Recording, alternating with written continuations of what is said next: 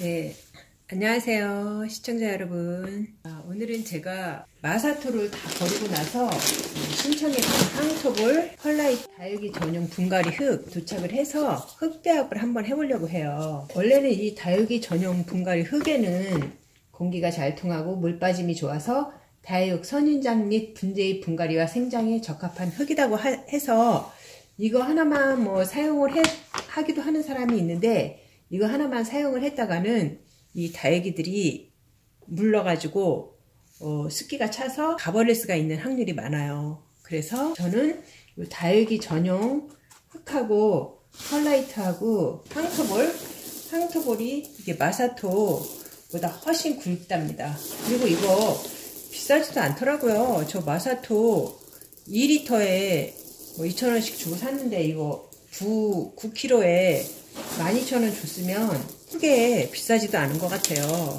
거의 비슷한 것 같아요. 그래서 이왕이면은 아직까지는 뭐 항토보는 안전하다고 하니까 검증돼서 발표된 거는 마사토가 위험하다는 거 마사토는 라돈이 확실히 발견이 됐고 어, 수치가 높다는 거요. 그리고 예, 마사토는 씻어서 써도 그 하강암 원료가 하강, 하강암이잖아요. 하강암 자체 라돈이 많이 검출이 된다고 해요. 그래서 저는 그냥 마사토는 이제 거의 복토로는 안 쓰고 그리고 될 수 있으면 이렇게 분갈이 흙에도 마사토는 안 쓰려고 그래요. 여태까지 쓴 거는 이제 분갈이를 차차 해줄 것이고 이렇게 속에 들어가 있는 거는 그래도 덜 위험하다고 하니까 복도 해는 거부터 다 이제 싹 바꿔주고 그 다음에 이제 분갈이도 하나 하나하나 차차 해줄 겁니다. 네, 그러면 지금부터 흙배합을 한번 해보겠습니다. 흙배합은 먼저 저는 이제 이 다육이 전용 흙 있잖아요. 이거를 일단 한 500ml 정도 넣어요. 여기다가 배합 여기다가 넣어줘요. 500ml 그냥 1대1대1로 하겠습니다. 여기에 이제 펄라이트도 물론 들어가 있기는 하지만 요거 500ml 넣어주고 그리고 또 펄라이트 500ml 더 넣어줘요. 마사트 대신 펄라이트 비율을 더 높여주는 거예요. 500ml 넣어주고 그 다음에 흑토도 500ml 넣어줍니다. 이렇게 세 가지 섞어줬고요. 여기다가 저는 상토를 좀 넣어줄 거예요. 상토를 넣어줘요. 마지막에 상토 500ml 넣었거든요. 흑배합을 해줘요. 배합을 해줍니다.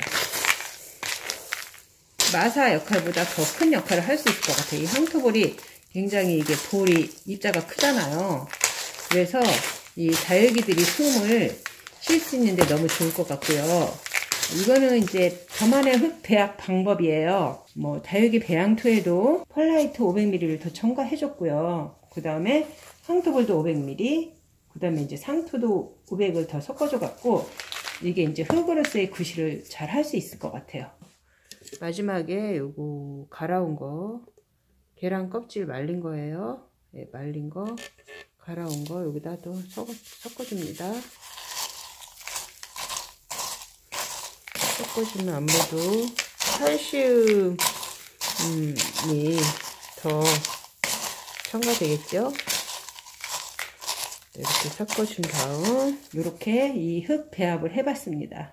그래서 앞으로는 이제 이런 식으로 흙 배합을 할 것이고요. 여태까지도 그랬지만 흙 배합은 그게 정석은 없었어요. 원래 마사 마사대 상토를 7대 3으로 하는 게 정석이었는데 그것도 다 올바른 거라고 볼 수는 없고 바람이 잘 통하게 하기 위해서 어, 특히 다육이는 뿌리가 썩으면 안 되기 때문에 굵은 마사를 많이 섞었어요.